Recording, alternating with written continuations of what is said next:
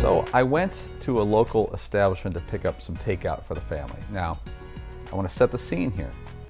I didn't go into the restaurant area. I went to the kind of front vestibule area, but I'm in the building. I'm not like, the people who are eating would be able to see me, but I'm going to this little area where you pick up takeout. But I'm entering the restaurant. I'm in the restaurant, correct? I'm dressed basically as I am now. There's a gentleman in front of me, two gentlemen in front of me picking up food. And the first one I noticed was wearing these kind of old guy sweatpants. I think he had a t-shirt on and you know sneakers. Much respect. Much respect. Mm. Yeah. just give up. Sometimes, some, some days just give up. For me, Yeah. it's all the time, but Fair. Um, I was like, all right, well, he's not going to eat in the restaurant. He was getting takeout as well. But for a second, I thought he was waiting in line to get a seat.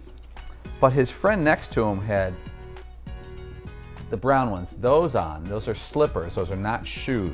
Those are slippers, despite, despite the bottom having a hard surface. And he was wearing basically these pajama pants and like a kind of a zip up like Seton has. Um, what is your policy, even to go get takeout, of dressing like you're getting ready to go to bed for the night? I would never do it myself, ever, I, ever.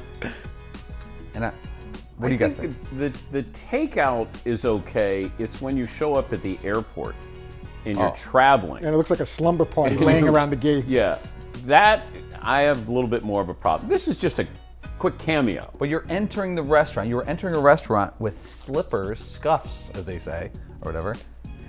And, I, I think and- it's a good strategy because maybe what if the food's not ready and the manager and the people don't like what you how you dress, that's that much faster they want to give you the food and get you out of there. Do you because think dressing like a hobo will get the food to you? I think everybody wins. The, the, the, you, you- actually, you win twice if you're dressed like that. You're very comfortable. Would you go pick up food with that, those on? Oh, sure. I, I've, I've, I've picked up food with sweats on. Andrew, you're, you're- very comfortable, and they're like, "Get them Yeah, the food. we can't have Andrew, it." you're a sweatpant guy, but you wouldn't wear these sweatpants, I Oh. don't think, would you? I wouldn't even hesitate. By the way, I think Dan, those plaid pants, I think Dan wore them on the show about three weeks I- ago. It's a sports radio and TV show. I think I and have. it's his show. yeah, yeah.